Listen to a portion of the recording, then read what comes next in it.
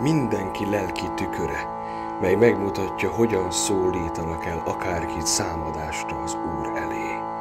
Akárkit, mert akárki bárki, és bárki akárki.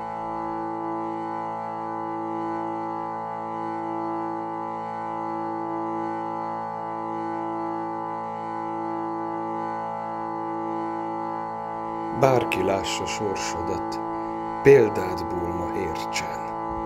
Minden elhagy, de az erény nem.